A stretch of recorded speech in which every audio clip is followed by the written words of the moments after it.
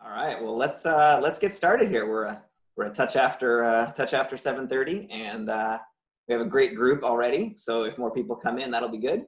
Um, but yeah, thank you all for coming here. Uh, my name is Alex Barrett. I'm a consulting forester uh, from Longview Forest, uh, up just across the border here in Vermont. Um, and Mary Wigmore will introduce herself in a second. But uh, tonight's workshop is going to be um, hopefully a, a, pretty lively uh, exchange of ideas and uh, dialogue between everybody and us. Um, and we'll get right into some details here. If I can uh, make sure that my screen sharing. Can everybody see that second slide all right? Yes. Perfect. Um, so this is kind of a general outline of what we're going to hope to cover tonight. Um, we're going to do some very quick introductions uh, for Mary and I. Um, and then we're going to talk about our process and you know how the grant that is funding this work uh, is structured and how we've attempted to sort of attack the, the set of tasks before us. Um, we'll take a, a, deep dive into the forests through a series of pictures with some comments um, and different ideas. Um, we'll get into the survey results. Um, I checked just before, and we have almost we had 78 people uh, who filled out the survey, which is uh, you know, applause. Like I, I it's totally amazing.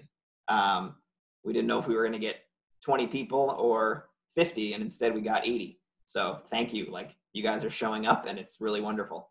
Um, we're going to weave some education throughout the whole thing, um, building on some of the things that you all read in the survey.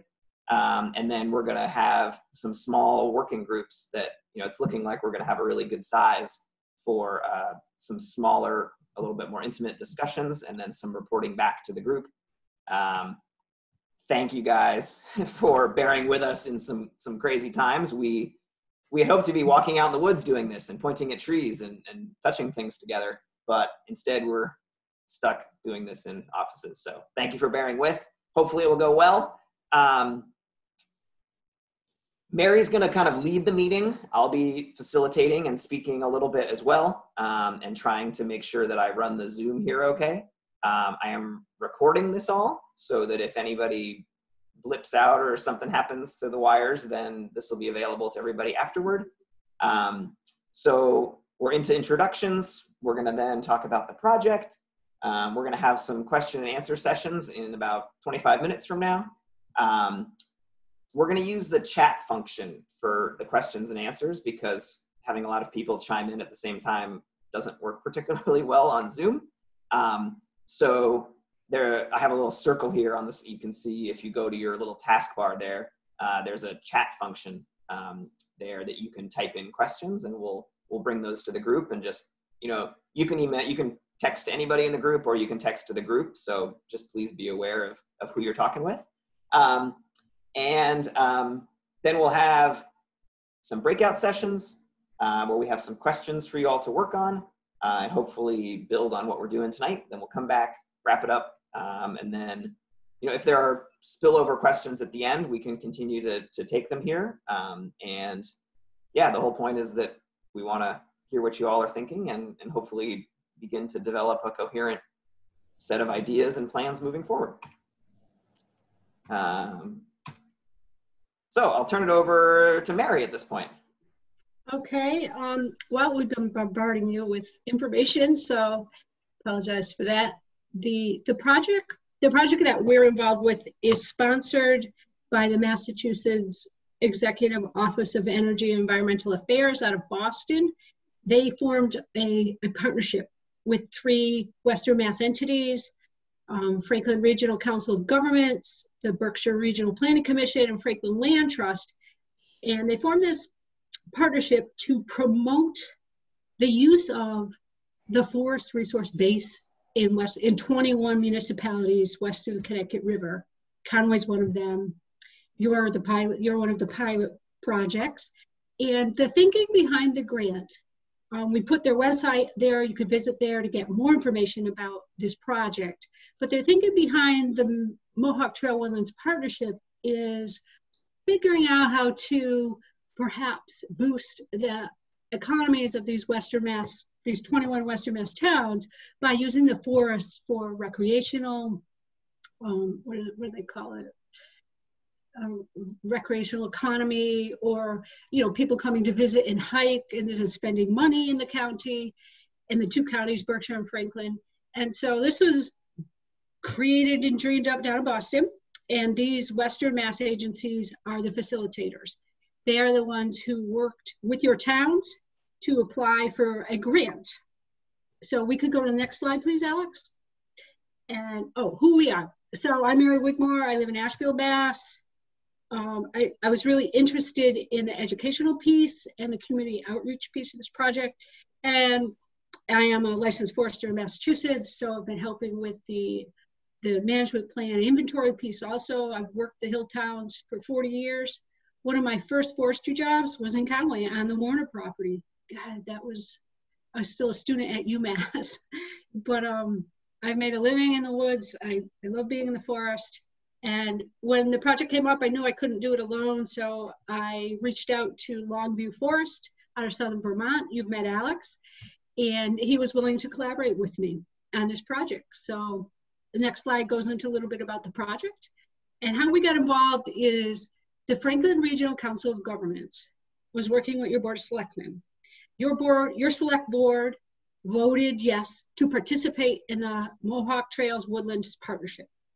And then in order to start launching the, the partnership, this project was um, your town worked with FRCOG to apply to the Massachusetts Executive uh, Executive Office of Energy and Environmental Affairs to get some funding to start exploring your forest base that is community owned. So it was a bidding process. We submitted a proposal. Our bid was um, selected for the award of the project. And all of that information is accessible. It's, it's public knowledge. You could get it from FRCOG. Um, people have requested it and they send you to a website. And there were two main goals of this, this specific project. One was to educate your community, your town, about what sustainable forestry practices are, what they might look like, how you might use them. And the second part of the project was to inventory your forest, the town-owned forest lands, and complete forest stewardship management plans for those two town forests in your in your property, the Fournier property and the old town farm property. And we have no other economic interest in this outside of this grant that was awarded to our to our collaboration. We love the woods. We do make our living in an industry that harvests forest products. So full disclosure, but we left that agenda at the door because if you move into the next slide, we thought about how to do this project and serve the mandate that your select board and the FRCOG had stated. It was very clear in the grant that we were to reach out to community, try to understand what your town, what the residents in your town who own these forests hold as a vision for their future use, their future condition and and then to complete the management plans. Our thinking was that these these two goals had to be somehow molded together. They had to be woven intimately. Where we've done, we met with your select board. Where we did that survey as a component of the outreach. We're having the online workshop. We're we're planning to have another one. We've done the postcards, and then the other weaving them together simultaneously we've been visiting the forest conducting the forest inventory making maps of the ecosystem collecting scientific data. And that's what we do as professional foresters. That's what we're skilled to do. The integration component the part that we see as really important is to take your vision your interest in your values and integrate it with what is the condition and the quality of your forest right now and then to produce the forest stewardship management plan. And another part of the whole, it's like a, to me, it's just this full circle, is the forests themselves. They're a beautiful, healthy, resilient forest, and they're sort of the, the heart of the project. And we're hoping that your input makes the soul of the project. That's a little bit about our process, how we got here tonight. So we're ready to move on. And I want to give just a really brief summary of the two properties Alex will expound further. He's got he's going to go over the science and some photographs, images of the woods. So I visited both of the properties recently. I worked on one of them, the Old Town Forest, down in 2009.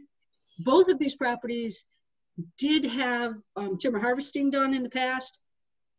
Um, sustainable forestry, timber harvesting is a sustainable forestry practice. It's silviculture. Silviculture is the art and science of tending to your forest, to your to your the trees that are on the site. So um, the timber harvest wasn't the sole reason to be out there. The projects that were done in the past down your woods, the select board at that time had initiated, had also gone out to bid on these projects. I was selected for one. Bay State Forestry Services was selected for the Fournier project, so they managed that harvest. And the silvicultural goals that were set on both those properties, um, one, the Old Town Farm had had suffered pretty dramatic ice damage from the 2008 ice storm that we had in West County. And so some of the red pines were severely damaged, their tops were broken off, um, insects and pests were getting into them.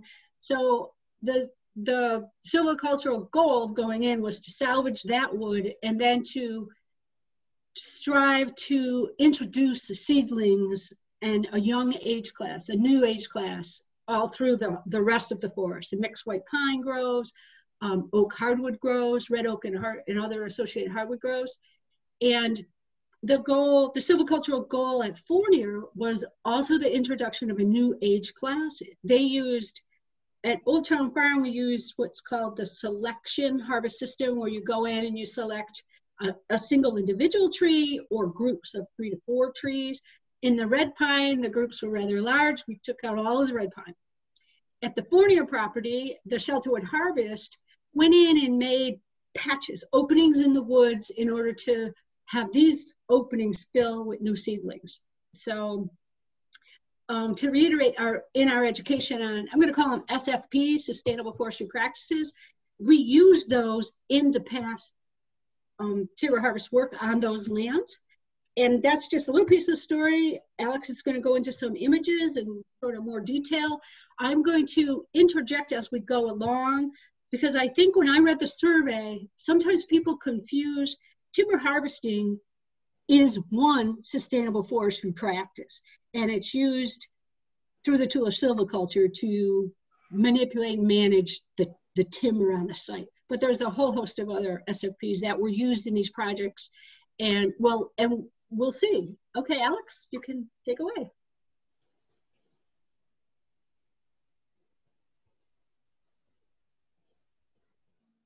All right, unmuted. Um, good, so you didn't get to hear my bumble out of the gate. Um, so this is a map of the uh, the Old Town Farm. Um, as many of you have, you know, come up Cricket Hill, walked through the heart of the property, been by the amazing cemetery there, and then uh, headed out to this gorgeous wetland, which popped up in most of the surveys of people who had been to this property basically said that's an amazing spot and we'll, we'll get to there in a second um, but this is a map that we begin to develop um, it's based on maps that the town has had in the past and then you know i have at this point spent many hours gridding back and forth across this whole property looking at trees and wildlife sign and uh, you know right here we have this amazing tree that a bear has been marking up for or probably a couple different bears have been marking up for a while um, they tend to develop really cool routes through the forest. So we're beginning to develop a really cool appreciation of all the stuff that's going on out there. Um, here, this is in the, the sort of back south uh, west corner of the property. I'm going to have five different sort of photos that try to capture a lot of what's going on on this forest. Um, here, these small trees kind of in this, this little hole in the forest were created during that harvest uh, that Mary helped oversee um, back in uh, 2009 and 10. Um, so I guess my math is off by one year. Um, but you know, here th- these are the trees of the future. Um, it's it's very neat. They've actually established. They're growing, and if you kind of look around here, you know, this is a 24 inch monster oak tree, big pine trees. So the thing that really jumps out to me here when I think about this forest is it's the diversity of things that are going on here. Um, you know, Mary retained these, you know, this dead material that's standing. Um, if you've ever felled trees in the forest to keep these standing, you have to be careful to not knock them over. So that's a very careful practice that was happening during the logging time. And then there's all this material on the ground was intentionally left. Um, we don't really encourage the vacuuming of the forest. Uh, this this stuff is really important. Um, it's the mycelial gardens in the forest. It's the decaying matter. It's where a lot of creatures that are at the bottom of the food chain are poking around and doing their thing. Um, and so here, you know, we have from six inches up to uh, 110 foot tall pine trees. You know, there are layers and different creatures are using these different layers. But also, this is a forest that, you know, when this tree blows over, and it, it eventually will, um, you know, these trees are just waiting there ready to grow. Uh, and they're already kind of doing their thing. So it's a pretty exciting little little part. This is the back corner. We'll get into some of the different areas uh, in a second. Do you want to add anything there, Mary? Um, no, I'll, I'll start with the next slide. All right. um, I'm sure that this is a very familiar image to, to a lot of folks. This is uh, this is the Beaver Meadow, which is one of the more spectacular ones that I know of in within 200 miles of where I live. Um, so this is the Beaver Meadow on kind of the northern part of the property. Um, it is just a, a mecca of birding uh, and bird life. It's a very dynamic place. Um, water levels are going up and down. You can see that there's a beaver lodge right here. There's fresh activity everywhere. There are little beaver slides shooting off into the woods. Um, this is a place that a lot of people come specifically to look at birds. Um, this is a place, you know, you might hear a bittern uh, this time of year. Um, or, you know, when I was there, it was like tree swallow feeding time over here. Um, one thing that's also, you know, key to think about here, if you kind of think back to where we were with the, some little pine trees, you know, this is an unbelievable patch of old field pine that has grown up in a, a plowed field surrounded by stone walls. Um, this pine forest here is relatively vulnerable, and that's that's not necessarily a bad thing, but it just you know this area doesn't particularly have a set of young trees there ready to grow. So you know if we had a big windstorm, this is an area that would take a while to kind of recover to something that looked like this forest.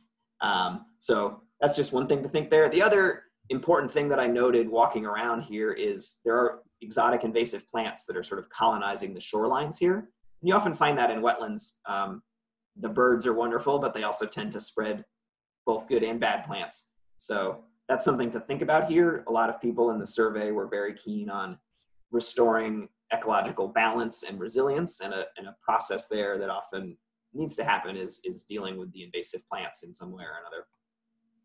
And when I see this photo, this Mary again, um, I remember in your select board at the time had guidelines and they wanted to protect um, valuable habitat inclusions or niches.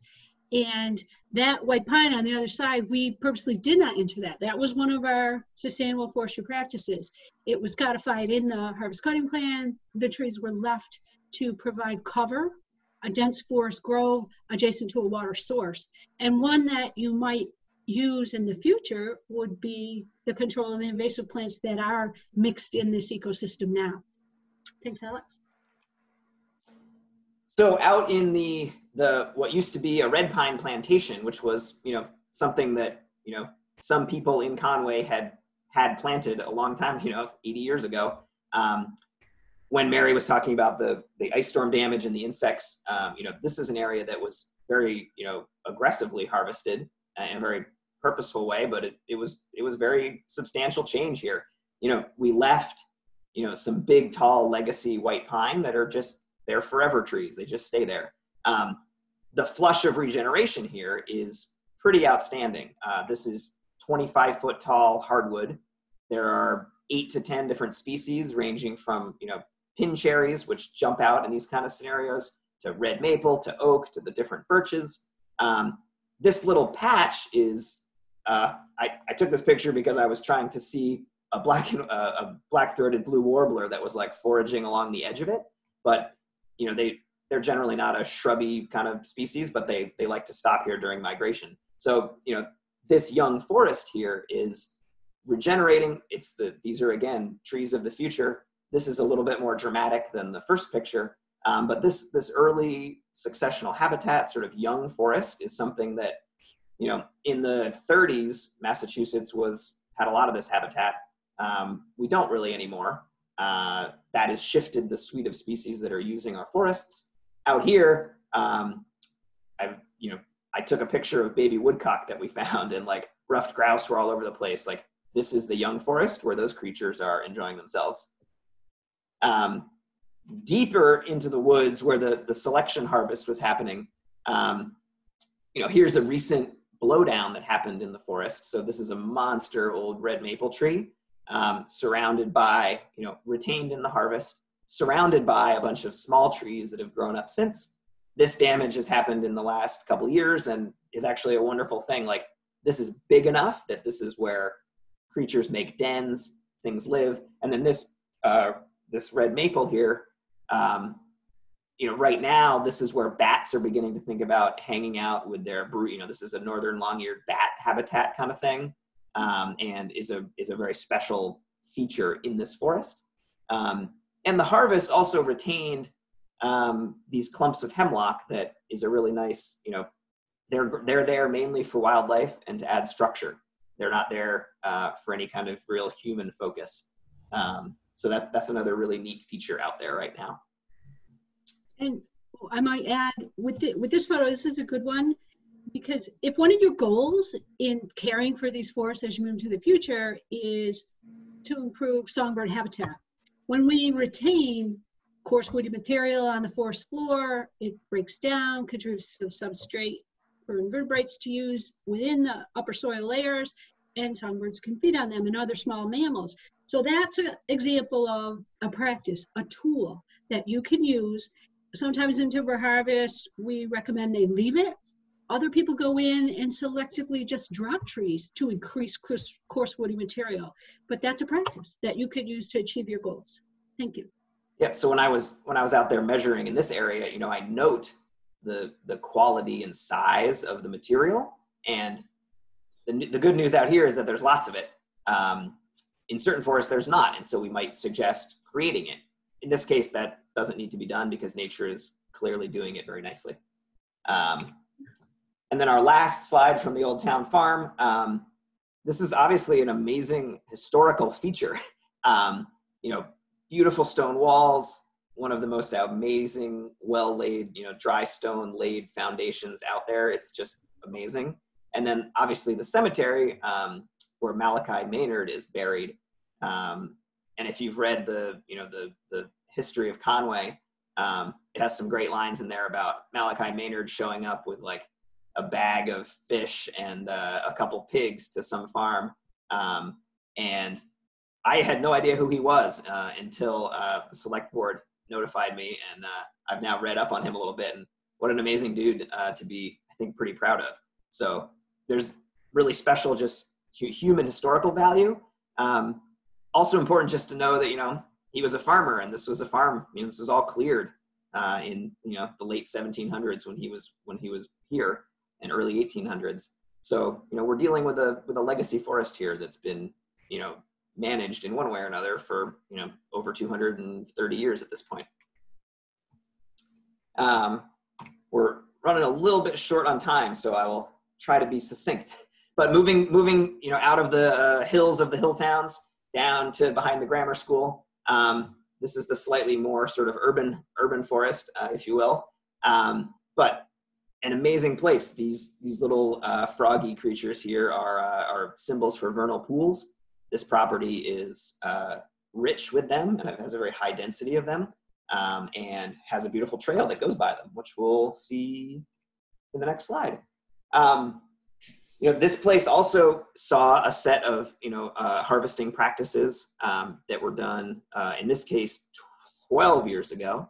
Um, most of the logging roads are very hard to find because they're filled with little tiny trees. Um, but this central kind of arterial road um, was seeded, put to bed very nicely. Just it was smoothed, water bars were installed, um, and it leads you right along this little necklace of beautiful vernal pools right through the middle of the property. Um, so the trail itself is an amazing asset. I know that the kids at the school use it a fair bit. Um, I found uh, you know, a fair number of little frog nets that people had left in various places. So hopefully the children are treating the pools well. Um, but there are some invasive plants in here, um, taking advantage of the sunlight. Um, so they're also something to keep keep an eye on at this forest, and and you would expect that down here, kind of where um, the forest is a little bit more perforated by by human development. And when I know the trails here, if you uh, real quick, Alex, is a part of the harvest that was conducted by Bay State Forestry. When the harvesting was done, they went in, graded the trails, and seeded them. And that's a practice that you can do. It protects your soil from erosion. It protects the soil structure and in- integrity. If you're con- if one of your goals was to use the, the forest as a carbon pool, carbon sink, half your carbon in the forest is in the soil. So you want to leave the site with well with stable, protected soil. And that practice of seeding in the roads after use, it, it that's what it is, sustainable forest practice. Thanks. Um, similarly to the Old Town Farm, you know, this property also has quite the historical legacy in terms of stone walls. And then this is the, the ice pond that's sort of in the southern part of the property. Um, it's fulfilling a lot of similar functions. You know, it's not a vernal pool, but uh, it has a lot of amphibian life. Um, and when I come into an area like this, I, I tend to think about it as a potential sort of like long-term reserve area. It's it's hard to tell, but this white pine is like you know three feet in diameter. It's a monster tree. It's really beautiful. Um, it has some steep hillsides behind it that have oak and maple and ash on them. Um, and as we, you know, something that we heard loud and clear in the survey that we'll get into is that having some representative areas that are simply untouched here um, and just leave them as reserves is uh, is a really cool practice, and it's something that can be done very purposefully um, and you know put on a map and maintained over generations. And those will areas like this will develop into really neat long-term features on the property. Um, almost done with the with the with the grammar school for now, um, but we were talking about disturbance and resilience. Um, we're going to get into the tornado a little bit later, um, but this this slide attempts to illustrate um, kind of how overlapping time frames kind of bump into each other by random here. So on the right hand side, here's some tornado damage. So this is a big hemlock tree that blew over in that tornado. Um, the town went through and, and you know cleaned up the trails so that people could walk on them, but left the wood in the forest, which is great. Um, over here, you have some of the same kind of material that was created not by nature, but in this case by logging. Um, you know, much older, you know, 10, 12 years older. This is decaying at a newer rate. So you have all these, you know, pieces of wood in the woods that are deteriorating uh, over time. And at the same time, you know, the harvest from 2008 created the opportunity for all these small trees to get started. When the tornado came, um, you know, it did damage, but there was already a 30 foot high forest there that you know these little trees don't really care particularly about the tornado. Um, and so they're incredibly resilient in that kind of disturbance. Um, however in an ice storm they're incredibly not resilient because they will bend over. Um, so you know resilience is something we'll talk about a little bit tonight. Um, but you know in this case the forest man you know the sustainable forest management practices from a decade prior um, accelerated the resilience here. Whether that's important or not is, you know, that's to be discussed, but that's just something to note here. Um, the vernal pools uh, we'll continue to talk about. Um, you can see uh, a scientist here, or county forester rather, service forester looking into the vernal pool. But this is a really cool one in the back of the property. Um, quite a few special plants and also some rare ones nearby. Um, you wouldn't really know this is there unless you walked 20 feet up a hill off the trail and poked your head over the lip and saw it. So, you know, maybe that's good, or maybe a, a sign and a small trail um, would be a nice way to kind of access this in a really long term responsible way to not damage it. Um, and then lastly, um, Mary, do you want to take this slide and talk about the, the, the pine here? Oh, so that is an example of silviculture. The practice there was the shelterwood harvest system. Its goal was to regenerate white pine, which it did very well. You can see at the base of the foot, the image, all of those young seedling trees, they're under six feet. Well, they're about 10, 11 years old. And the practice they did was the implementation of the shelterwood harvest. And the goal was to introduce new seedling class, which was successful. I think we can move on to the survey issues. Awesome.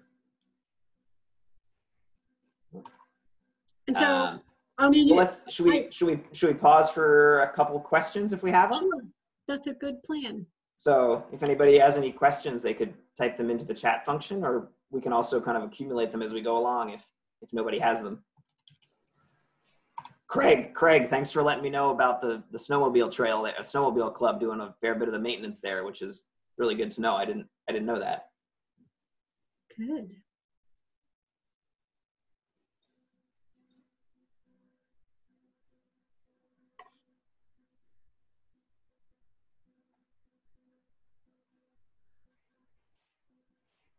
Um, cool. We'll we'll have plenty of time for other questions. Oh, okay. Um, can you compare your practice to what happened south of the Beaver Pond, which was which post logging was impassable?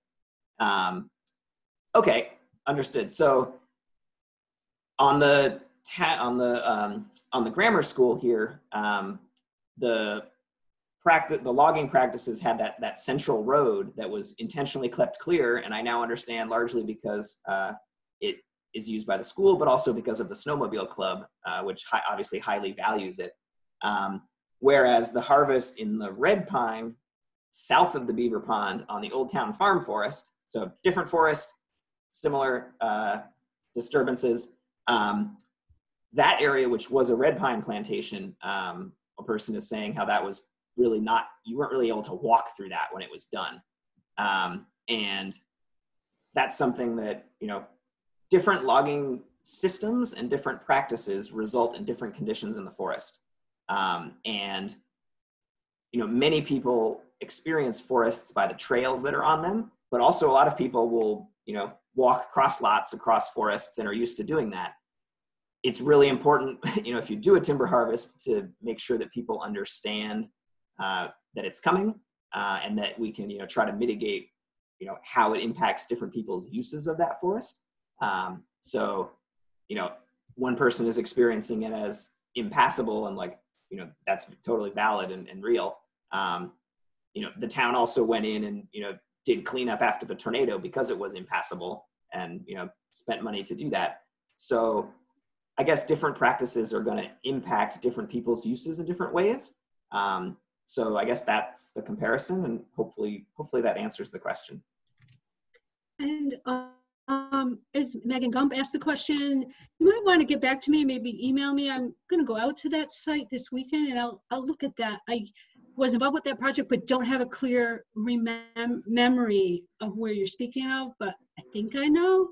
So I, I will follow up with you. All right, thank you. Yeah, and it'd be it's interesting because you're talking about uh, this area. Um,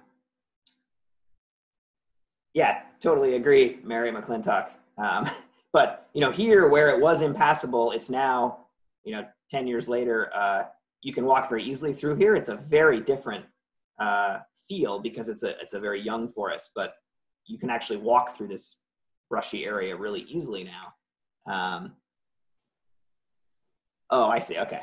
Um, and yes, Janet, the we'll, we'll get into the survey in a second, but if we were going to have a winner, it would be trails. Um, all right. Well, let's hop into into survey here, Mary. Okay. My screen is weirding out, but if you proceed through the slides, I might be able to catch up with you. So the goal of the survey was, we believe that we couldn't write a plan for your town without hearing what the community felt, loved, valued in these two town forests. So of the introductory questions in the survey, we're really just trying to pull out of you what you do when you go there. And a major response was recreate. You go there to bike, to walk, to walk your dogs, to and just enjoy how beautiful it is there, just to listen to the silence of nature.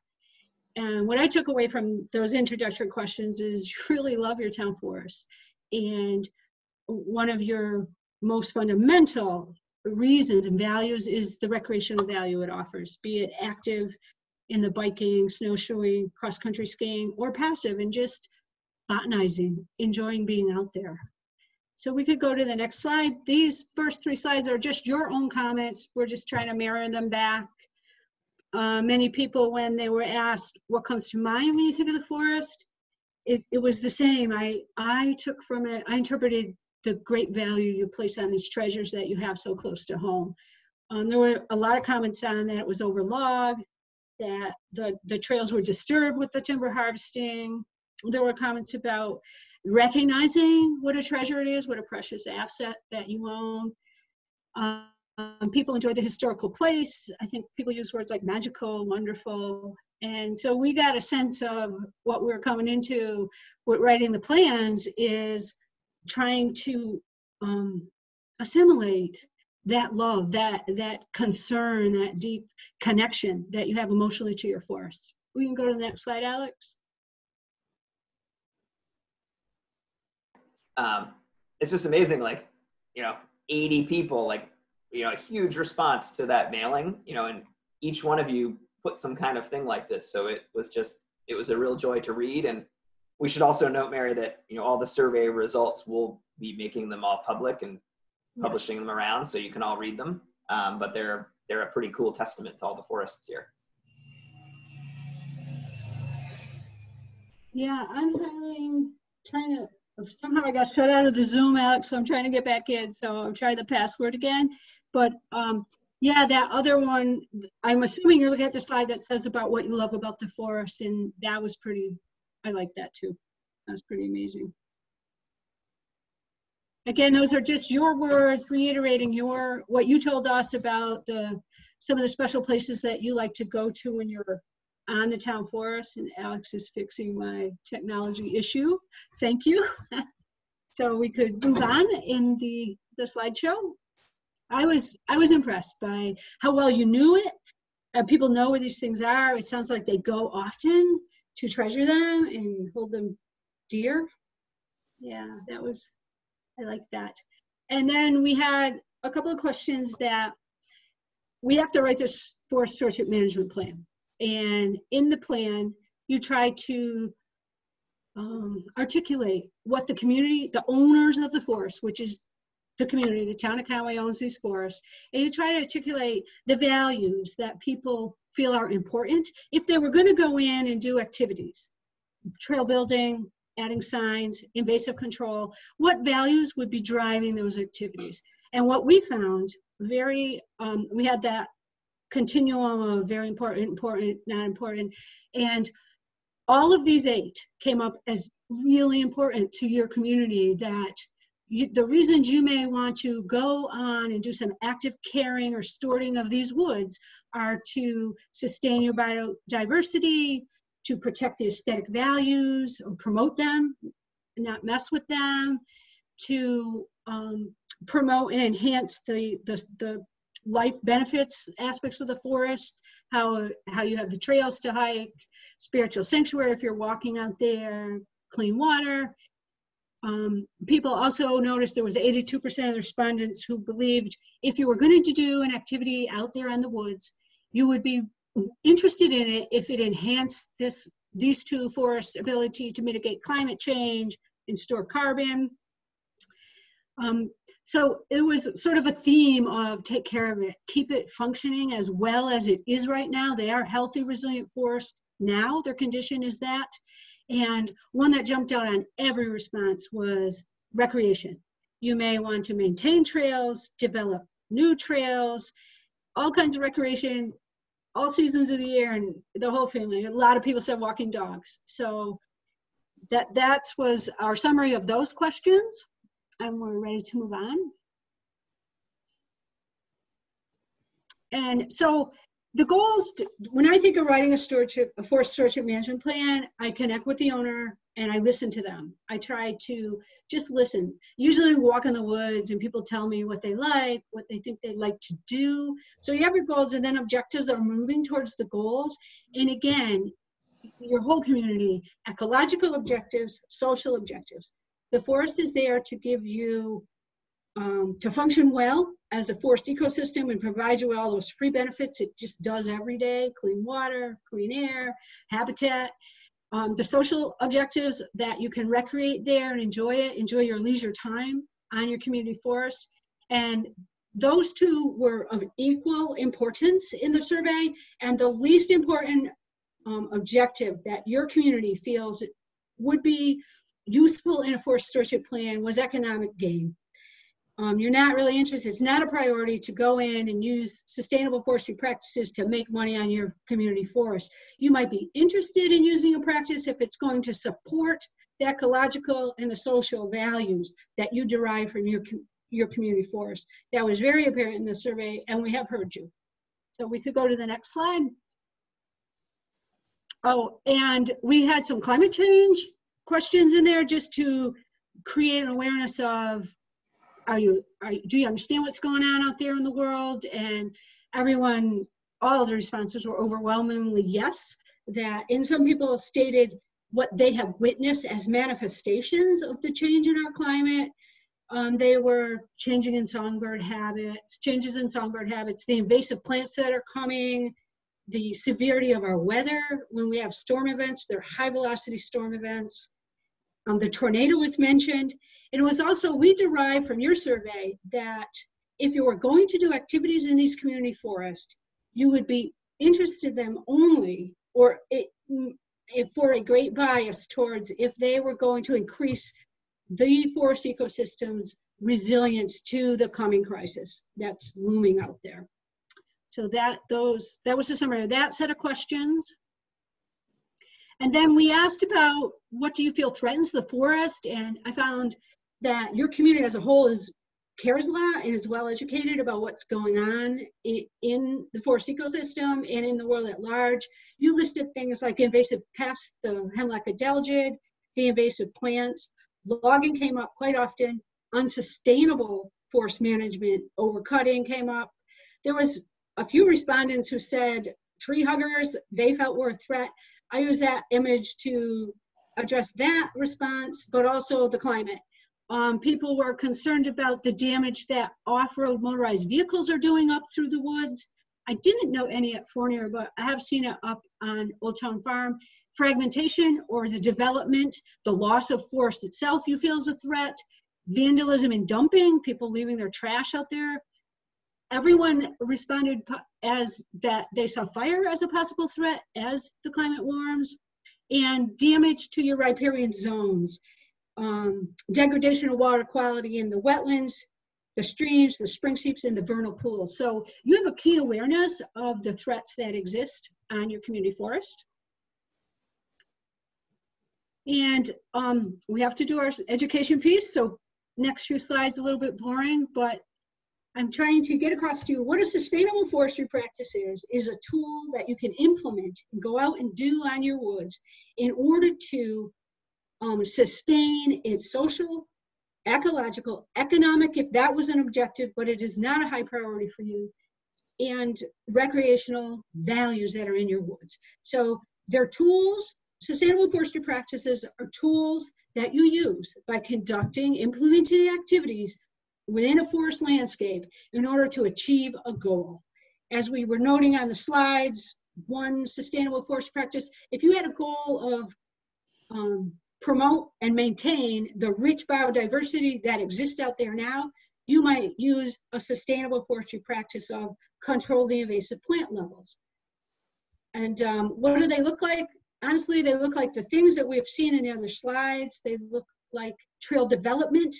Sustainable forestry practice could be making signage along your trails so that people know where they where the trails are or how to access your property. A lot of the response from the survey indicated people don't know up on Cricket Hill where your land is and what's up there. So if you use those tools of sustainable forest practices well, you can achieve your goals. And what it would look like is one tool is silviculture, that's timber harvesting or uh, one to one application of silviculture is timber harvesting. Another application of silviculture is invasive plant removal. But if done well, SFPs will leave your forest looking healthy and resilient, ready to take on the climate. That's what they are. So we can move on. We also try to bring a little bit of educational material about using the, the forest as a carbon sink.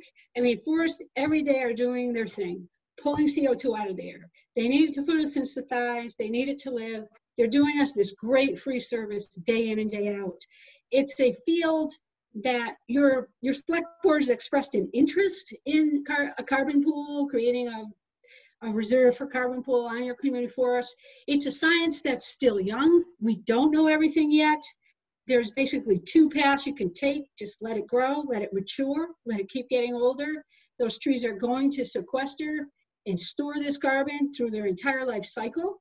Another approach is active management, where you you create a balance within this forest ecosystem of the accumulators, the young trees that are pulling it out of the air faster, and then you want every tree is going to pull accumulate carbon its entire lifespan. So you want this balance of young trees, middle age, and the mature trees that are just storing carbon on the site. So that that's um, you people didn't know a lot about this and again, we're all stumbling along on this. It's become really important. We need to use our forest in this way, and the scientists are still figuring it out. Uh, Mary, I'll, I'll just chime in for a second. I'm we'll on the town website. We'll also be posting up a number of different um, materials that are out there, um, and one of them is co-published by Paul Catanzaro, who's at the University of Massachusetts, who's an awesome dude who I know some of you obviously know um, and interact with, but he and Tony D'Amato from the University of Vermont, who uh, uh, I really appreciate him, um, they put out a really cool publication about basically the carbon dynamics in forests. And whether to manage for that or not is a, a management choice, but it's important to kind of think about it in the, the bigger context. And they do a super job of, of pulling that all together. So we'll make sure that that's up there and available too. All right, thank you um, we tried to introduce in the survey a little bit of educational material about forest resilience.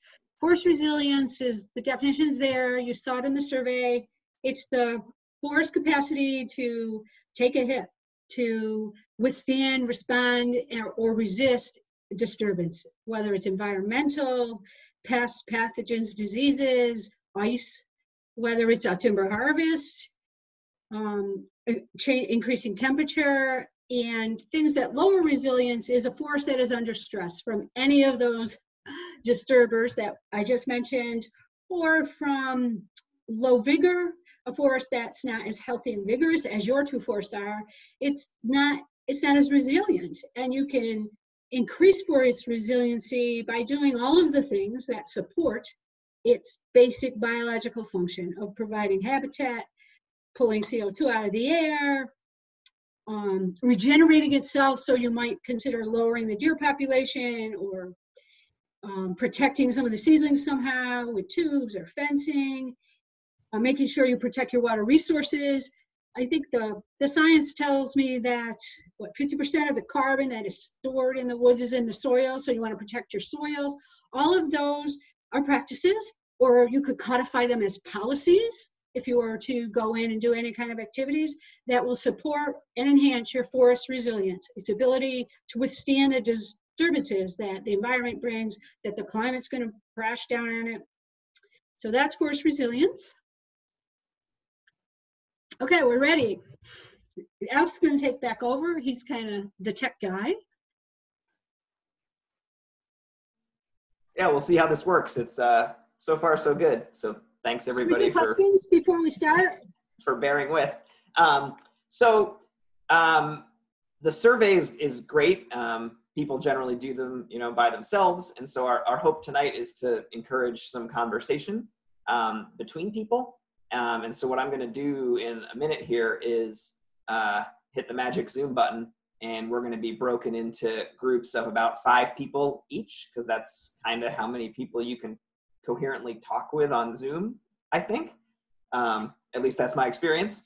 Um, and we're going to take, you know, somewhere between eight and 10 minutes. And um, hopefully, uh, hopefully you'll randomly end up with someone you know and someone you don't know and make a new friend and uh, talk about this, this topic here. And, and the main question is, you know, what specific measurable activities could Conway undertake on these forests in the next 10 years, you know, and that's just an arbitrary planning horizon. Um, you could say something that you want to have happen for 100 years too, that's fine. Um, to, to enhance the things that you value there. Um, so, you know, activities here could be, you know, mapping something out and quantifying it and putting it in some category, all the way up through, you know, dealing with some invasive plants or managing the forest or continuing or not continuing the work that's already been happening there. Um, Trail development, trail maintenance.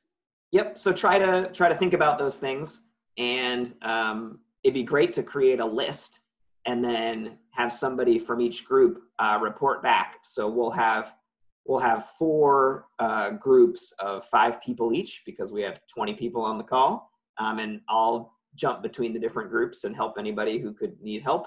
Um, but let's take a few minutes to to talk about this topic, and when we come back, hopefully uh, each group will nominate uh, an intrepid leader who can uh, who can speak to the group and report back some things. And Mary and I will be, uh, well, we're recording this, but we'll also be frantically scribbling notes and trying to to get it all down because this is really really valuable uh, to us as we try to craft something for your review and then eventual approval. Yeah, this this makes our process work. We were charged with writing these forest stewardship management plans. We look at the forest one way. We don't live in town. They're not our treasures. They are treasures. But if you could tell us where you want, what your vision is and how you might get there. That's what this work, the breakout session is all about. You need to guide us to complete this project. Thanks. All right, so here we go into the void. So hopefully this will work. Do we get put in a group too? And activities to encourage people who don't usually use these trails and don't go here uh, to come here instead of be instead of getting in their car and driving to Mount Sugarloaf or something. There's a lot of people who live nearby love their forests, you know, and use them a lot, and that's fabulous. But I think for other townspeople, you know, we're not going to make it super public to the whole world, but we want to encourage other folks. Uh, my third big priority is invasive plants because I'm seeing. Hi, Alex. Can you hear me? Alex? Alex is muted. Oh, Yep, there. now I'm here. I can hear you. Okay. Hi, Alex. We're um trying to get Danny um on board. It looks like her uh she's muted and we don't know how to communicate with her right now. Huh. We also have an iPhone that's muted. Let's see. Yeah, Marilyn doesn't. Oh no, Danny is not muted. Um. Okay. So, huh. She might have gotten up away from her computer is my maybe, you know. I don't know. And are you there, Marilyn? I am. Awesome. So yeah, I don't know. I don't know where Danny is, and the iPhone person didn't respond to me earlier when I asked. So maybe Okay. they'll maybe they'll join. We don't know whether to start working. I'd say let's get going. Okay. Sounds good. Um, and if there's any way for you to text Danny, like, or message through a chat thing or something, Gotcha, I that's what I was thinking. Yeah. I'll let her know. because we, we we'd like her in our group. Um, all right. So the question, the question, um, if I paraphrase it, is: Do you have specific measurable activities um, that you'd like to see sort of happen in the next ten years on either property or both properties? Is that right, Alex? Yes, that would be great. Okay. Joe? Yes, Do you have any ideas of things that you'd like to see accomplished on these properties? um, well, as you know, I was the selectman in 2008, although I think Jack Lockhead actually um, took the lead on doing the forest management plan with the two forests. Uh, I also have done a wildlife management on my own property, which is almost uh, touching uh, the corner of your property. Um, I, but I, my sense is from a town, and I'm gonna put my old selectman's hat on, I guess, and my, and my planning board hat. Um, I, I think it's really, trails is a big thing. I think maintaining safe trails. Uh, maybe inventorying and identifying some of the beautiful spots. uh, along the trails would- would be useful. Um, Would it be would it be helpful to have like a a sort of a, a documented trail maintenance program? I mean, I get the sense that you know Craig was saying how you know the trail through the middle of the grammar school there is well maintained by the snowmobile folks. On the town farm, like there's a couple trails that you can follow, but it's mostly because you're following where the deer and the moose are. Um, they're not really maintained trails. Um, yeah, I, I think, uh, well, personally, I think a map, um, of some sort, you know, or, and a trail maintenance plan. I personally love those less maintained trails. Yep, definitely. I do too. No, Yeah. It's just, you know, you just feel like, for me, I feel like on those trails, I'm walking in the woods in a different way. It's kind of like taking the back roads versus the highway. Totally. And I would agree. I, I recently came across one and just like I'm totally in love. Good. Um, a, a different one, you know. I, I, I have my so yeah. I would agree. I, I, I don't like signs. Um, but some people need signs um, to find their way around.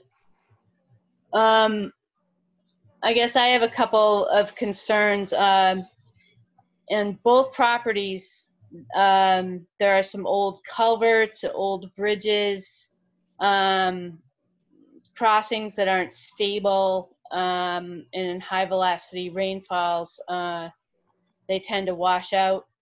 Um, they're not really a functioning stream ecosystem anymore. So that would be my concern. And, and they're in both properties. I think, Alex, you saw how close that little stream came to an old farm road. Yep. And it's just the placement of the old farm roads. In some cases, we might not be able to do anything about that. But um, Yeah, but there's at least one spot on the town farm road there, right, where Cricket Hill sort of turns into Johnny Bean Lane. Um, mhm. That you know, there's a kind of failing culvert situation there that would be really good to, you know, people Sure. do like open bottomed culverts that amphibians can pass through a little bit more easily than like a a tube that's stuck up in the air that they have to, you know, potentially try to go through. Right, and I think that would achieve some of the resilience concerns. Um, you know, especially with Roaring Brook watershed being, you know, a drinking drinking water watershed coming out of the Cricket Hill property. Um, that we would want to improve some of those crossings, especially if people want to continue using them and if they should be used for forestry purposes as well. Um, anybody else? Well, I'm concerned about the invasives, but I'm also, I feel like it also depends on how those are taken care of. Um, you know, because I would hate the removal to actually end up doing more damage because it's a lot of hardcore chemicals. Yeah, I mean, the nice thing, you know, I, I encounter this a lot with different clients of different sizes. And, you know, a nice thing that towns have access to is often uh, lots of eager volunteer labor. And I don't generally recommend the mechanical removal of invasive plants, but I think on both forests, you have the possibility to do that effectively um, because the populations are not very big and they're easy to find, and you could actually do that um, so the trade-off there is significantly more labor, which is fine. Um, and you know, I think it's totally doable on both places because things are not out of control right now at all. Right. So that's really cool. Right. So how about the education component on the Fournier lot? What do um, Joe and Marilyn, um, what do you think about getting the kids back? and everybody's back. It worked. Um, well, I had the pleasure of bouncing around between different rooms and troubleshooting a couple little things, but it was great to hear the discussion. Um, and I could overhear Mary in the other room and her discussion. Um, so I think um, let's see if we can go uh, with someone who is in group number one. Uh, do we have a, a volunteer who'd like to unmute themselves and, and, and speak for the trees here? Who's group one? I think we're group one. Let's see. I, Alex, are we group one? I will. Uh, group one was uh, Allison, iPhone, Joe, Marilyn, and Danny. Okay. Since I'm unmuted already, I will uh, go ahead and try and communicate correctly what we discussed. Um, let's see. For but we we really spoke broadly about both properties. Um, and and I think it was Joe said that he heard the people saying that trails were very important. Um, and that you know maybe we should you know of course enhance trails and then maybe inventory or somehow document or guide people to beautiful spots um, there were two of us who preferred less maintained trails um, with very few signs and then um, then one person who did prefer a sign and had a concern about um, groups of people who might need the signs. So some kind of balance would have to be found there. Um, I suggested having a kiosk at a trailhead, you know, with trail maps that you could take with you, or there might be a, you know, maybe a digital way to find your way around. That's a thing I just brought up now.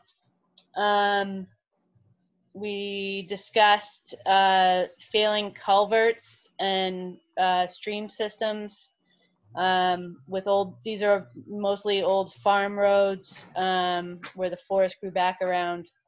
Uh, these old roads that are now used as trails um, for multiple uses.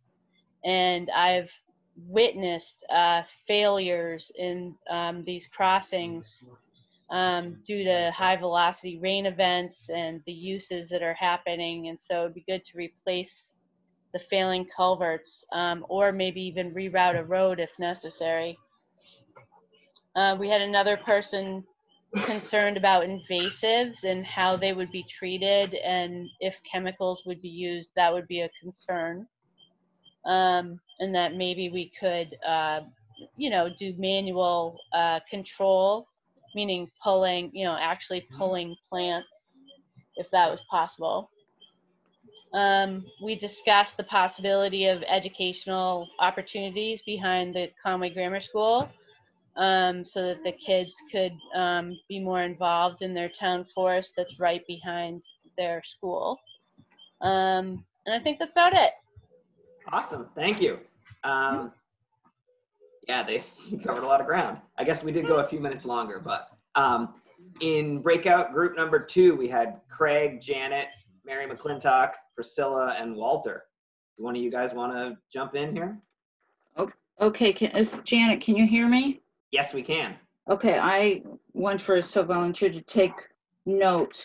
We seemed of the group that was there, there was uh, some, I would probably say a majority leery of management activities.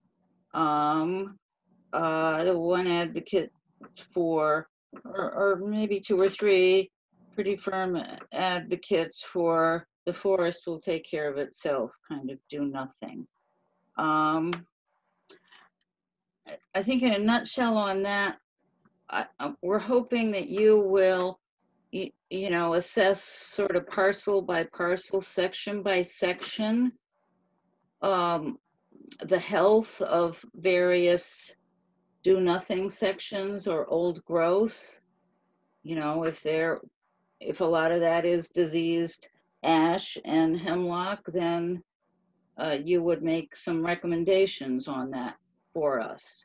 Um, I mean, I too love the idea of old growth, uh, but some of us are interested in a balance and making sure you have good methods to get, you know, other young trees coming up. Uh, uh, a couple of really good points. Mary, who lives very right next to one of the properties, said make sure who is ever operating the equipment is adequately supervised because you can have all these plans in place and then and then um, the operator maybe items were not properly flagged. So that clearly is why we want to make sure you get that somehow in in Yep. the final report. Um, there was some mixed uh, views on invasives. Um, I explained that in our, with our own land now, the forester recommends now you like treat invasives because um, before you create any addition, any clearings. My, my feeling is that, that based on what you said before in the survey, you know, we're not in this to make a lot of commercial money. We just want recreational activity and healthy forests with a lot of carbon sequestration and, and a lot of um, variation for the natural um, wild animals and plants that live there. Uh, unfortunately, Walter, one of our sharpest, most longstanding citizens, got cut off at the end, and he was going to make a, an important point about economic impact or or or not. And uh, we missed that. Maybe we can take if we have a minute. Definitely. Let's uh let's get through the other two groups Okay. and then we'll circle back and I'll make a Okay. note that we have that and I'm I'm All sorry right. I cut people off. um, cool. Thank you, Janet. Um, breakout group number three was uh, Grace, Mary, Matt, and Megan. Um, do one of you guys want to take the lead?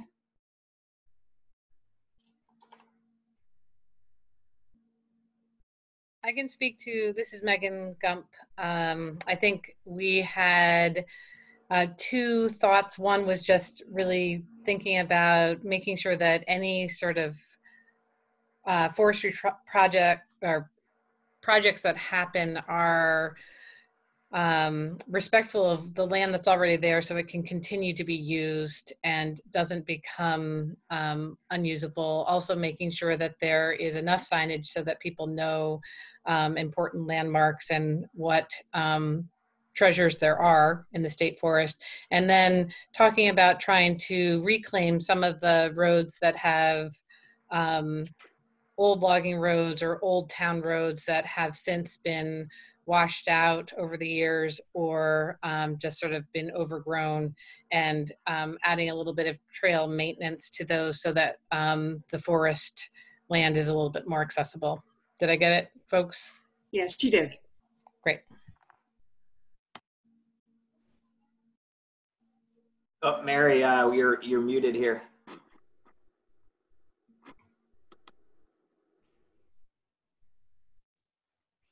Says on mute. Um, one thing the group brought up was if in the future there is a um, silvicultural prescription, that it be done in a more conservative fashion that respects the, the trail system so that access is never really compromised once the equipment goes away. I think that's important. So that that's the that's it.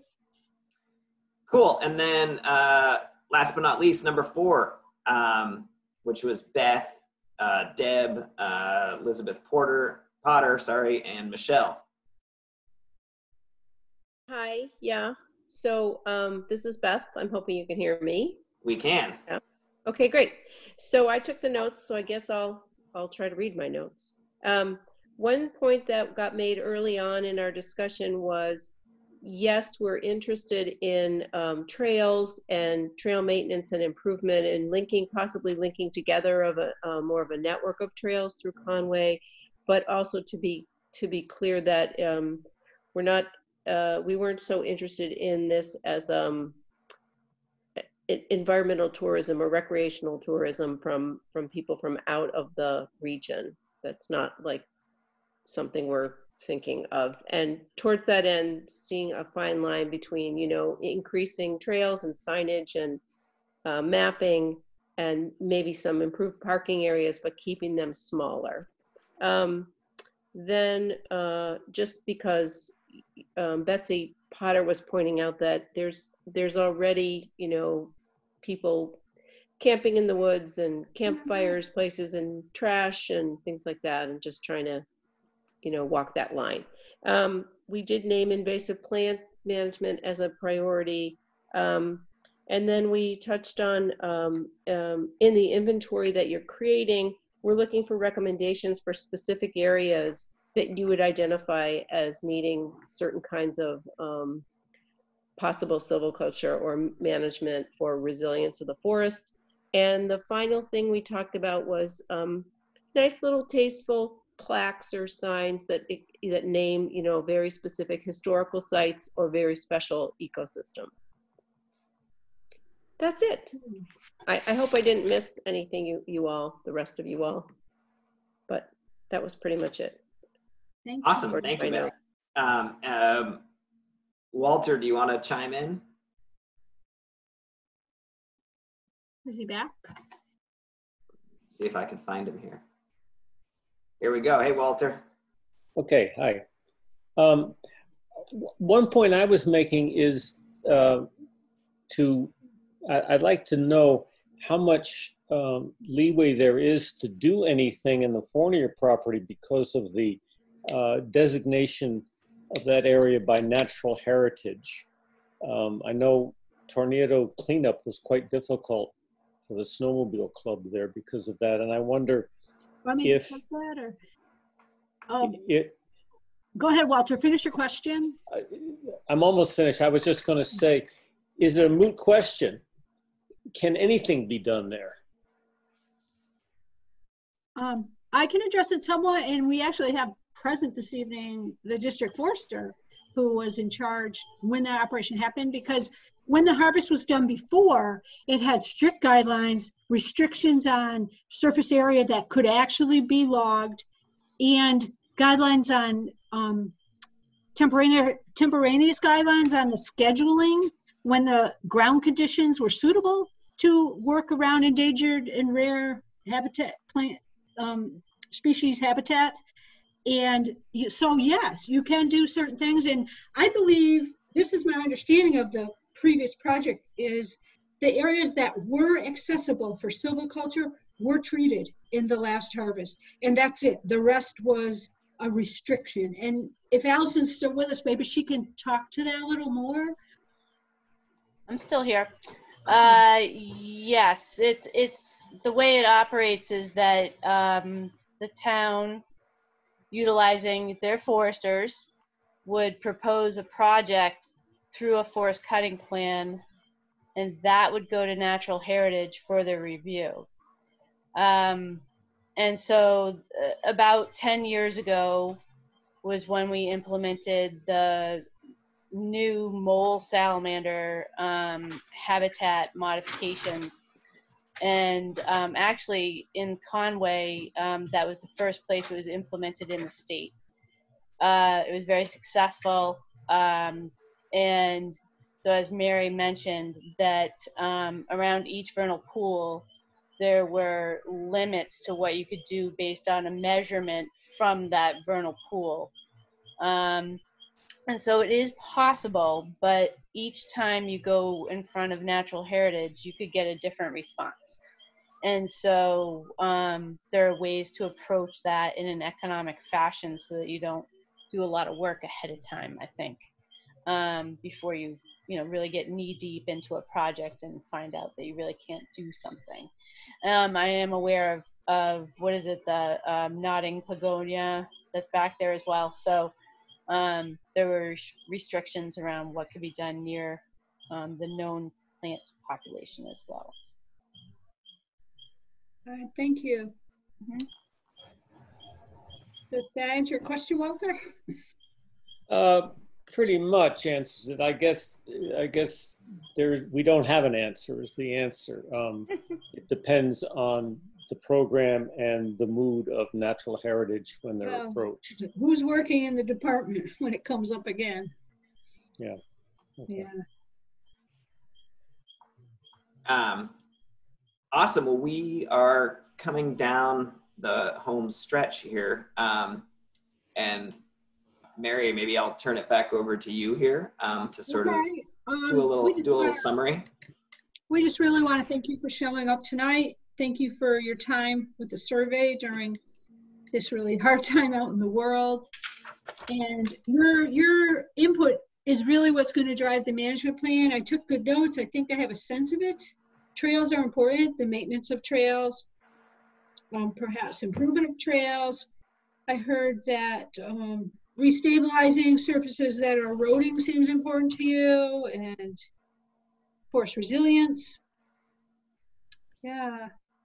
Invasive plants are important.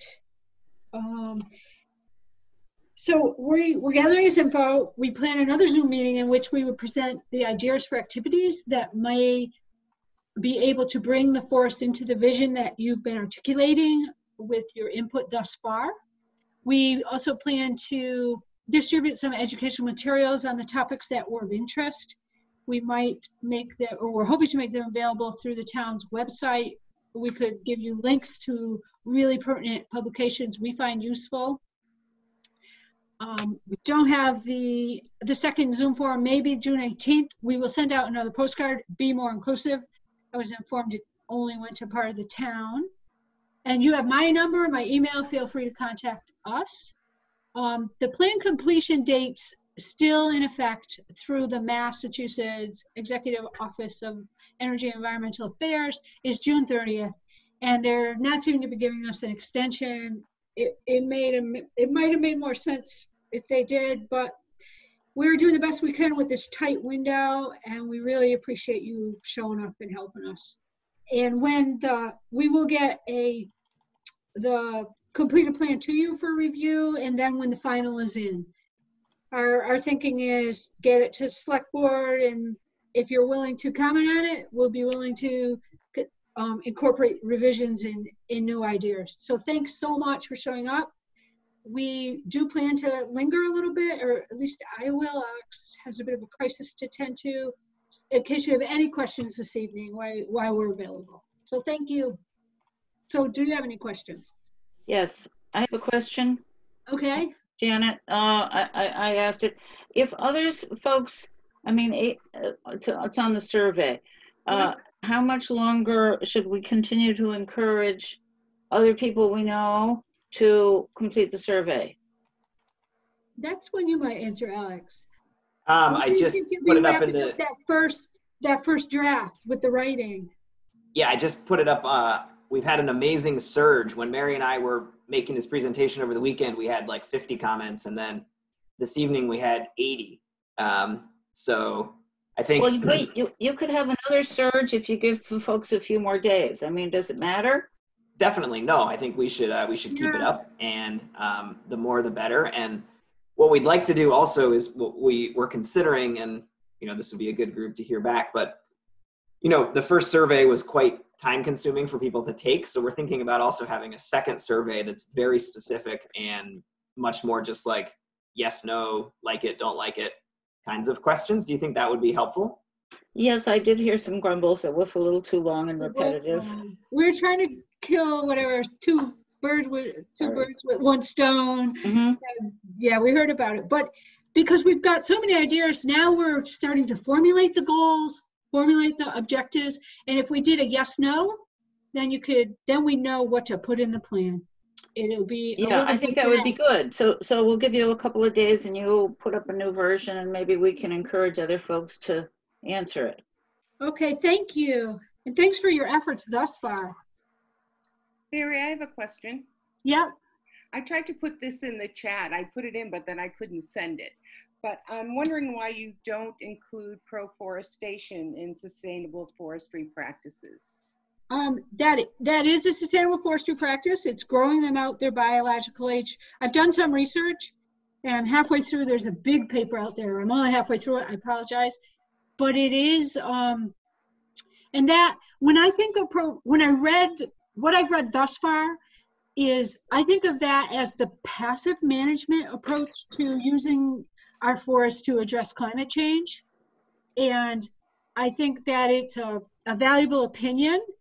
Um, I didn't see, I understand your position, you stated it at the select board meeting, and I could kind of read, I think some of it, I think they were your comments, or other people who think similar in the survey. And, but then there was other things in the survey, so I'm wondering if a compromise might be set up refugia within the forest, or I'm not really sure if it's within the scope of my mandate from this project to make that decision for long-term for the community. I do value it. I see it as one possible way to use those forests to just let that carbon sit there until forever. So, um, I'm just asking why it is, isn't presented as an option. Several people have spoken about it. And so, um, Priscilla, I think um, you know there are there are a whole list of things that are not presented here. Like we also didn't talk about clear cutting, or we didn't talk about uh, planting things in the forest, and we didn't talk about mulching things in the forest, or you know all sorts of different practices. So I don't, you know, as we begin to look at the different areas on these forests, and uh, you know, people made really nice comments in the survey about how on the one hand these are very special areas. We want to protect them. We want to do things with them. On the other hand they're you know it's 140 acres in thousands and thousands and thousands of acres of forest. So like you know some people are sort of like what are we doing here? This doesn't really matter. Um, i think that the, a really valuable part of these forests is that you know they're town owned they're accessible to everybody they're wonderful areas to demonstrate something like proforestation from the survey, I would get the sense that, you know, people support that idea, but they don't want a uniform treatment of anything. Um, and so that goes both ways. And so, you know, I think we should include, you know, we can include that in the thinking and the planning, and that's sort of a, a one of the practices or one of the sort of you know buckets that you would begin to think about parts of these forests. Um, but in a similar way, like you know, if you begin to think about, you know, putting one thing across the whole forests, whether that be aggressively managing timber or proforestation or aggressive, whatever you want to call it. Um, you know, I think those different practices need to be all kind of balanced here. And I know we're talking about sort of science, philosophy, actual practices on the ground, and so we're not exactly comparing apples to apples, but um, we're also trying to strike a balance between what 80 different people think about something, and it's pretty challenging. But Right, and the- could the we, other- could we consider to honor her voice, put it on that short form survey with maybe a sentence or two to, because you're, you're correct, we didn't explain in our educational piece. Um, but we could, could we maybe introduce it in survey two? Would that, would that satisfy what you're asking me, Priscilla? in part, but I think it it's also should be part of your pre- presentation if you consider it to be a sustainable forestry practice Okay, and not excluded. yeah, And the other thing that I think is important is that we, and this didn't get mentioned and I didn't get to mention it, but that we do look at everything in terms of what else is going on in context around us. That is, you know, the two state forests that may be uh, logged very soon, the more recent cutting, it, the Cowles private land next to, you know, the, uh, the town forest and the proposed 25 acre clear cut for solar. So I think that we also need to put everything in context. okay, definitely and that that sort of when i think about planning for stewardship i i refer to that as sort of the neighborhood approach. And that's thinking about what's within a reasonable kind of range you know where they're clear cutting things in borneo right now but that doesn't really affect what you know that's not really what we're here. But within a couple miles within the county like that's kind of a reference frame that i like to think of as the neighborhood. And you're right it's it's super important to keep that context in mind. Like you know this beaver pond there are not a lot of you know that's a pretty special place. Um, you know the regenerating forest where the red pine was is actually pretty special right now.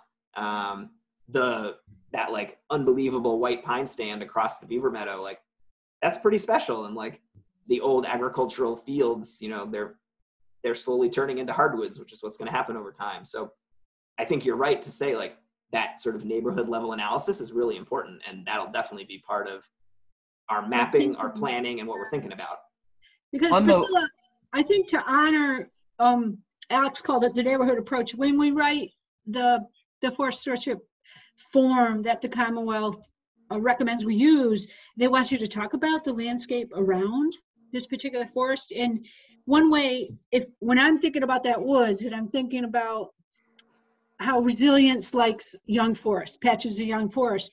My thinking for both of your properties is you've got enough of that around these forests, so you might not make big new openings. So that's the way we incorporate that what's going on close by into our thinking process when you're completing the plan.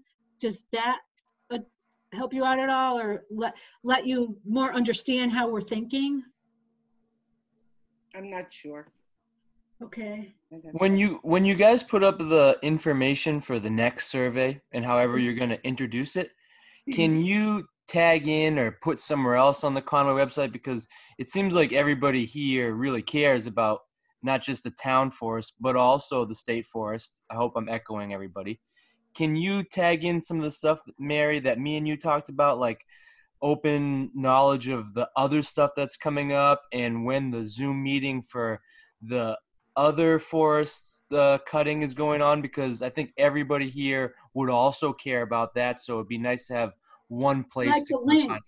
because there, I, I'm not sure, and Allison might be able to help me. I know when the, when the state, the management, um, program, state lands management program puts a harvest out, they have public review. I think they call it public review, and it's publicized and how to get yourselves on that list. I, I can take the time to explore that and then be able to share that information with you. Thank Is you. that, is that what you mean, Matt? Yeah, that's what I'm saying. I just feel like everybody here also if you if you go to the Conway State Forest, you're also going to the state forest. You're also going to five other people's pieces of mm-hmm. land. So if we knew what's going on at least in the state forest side too, that maybe even make us change our decision what we do for our forest. So like the neighborhood situation, like if we can figure out what's going on in the whole area, it, now we have a nice place to put it, and we all know that it's thing to go to. You know. Yeah. Uh, Yeah, I can follow up with that to let you know. Right. Thank you they- very they much. I do do 'em- appreciate it. I think they're doing them by Zoom now because of the current situation. They need they need to send out postcards too. They need to send out some postcards. Thank you for the postcards, by the way. That was very nice. So- Did you have another question, Priscilla, or comment? Yeah, I was just gonna say, those plans for the state forest were done years ago. Um, Well, they do plans, but then they have a public review period or session when a project is upcoming, right? Yeah, I think that, I, I'm pretty sure I saw some coming up and they're gonna do it through Zoom, the Zoom platform. Yeah, but they're not for the Conway Forest. There are some, there are some cuts planned for the Conway State Forest off of Cricket Hill. Right. But those plans were written a number of years ago. No, this is The new comment- work. Public comment periods ended then. It's, There, there's, there's new work, I believe, because I just saw the foresters out there. They may be looking at it and they mm-hmm. may be looking to put it up for Yeah, bid. I could totally give you that link because that is, that's like your responsibility. Just be aware of what's going on and, yeah, I agree. The landscape perspective is important in making decisions. So I agree with you. Any other questions? You've got us, so fire away. Well, and I, I put our uh, I put our email addresses there in the chat, and uh, please reach out. Like this Yes, is this is what we're here for, and um, we're we're definitely operating on a on a tight time frame, but we're also pretty exclusively focused on this professionally. So it's really engaging and fun, and I this is this is why we signed up to be foresters, and we really like it. So please engage with what we want. Um, cool. Well, I think we'll stop there and just again, like, thank you, everybody. This, Thank you so much. um, this is great. Um, Mary, the Mary McClintock, the um, contact is a little higher up in the in the thread there. Um, and Mary's contact was on that postcard, and it's on this it's on the town website also. Um, and you can always just Google Longview Forest and find me that way too. Um, so. Um, Great. Well, thank you, everybody. Have a good night. And uh, yeah, thanks again for participating in something that we'd rather be doing out in the woods, but this went really well. So thank you.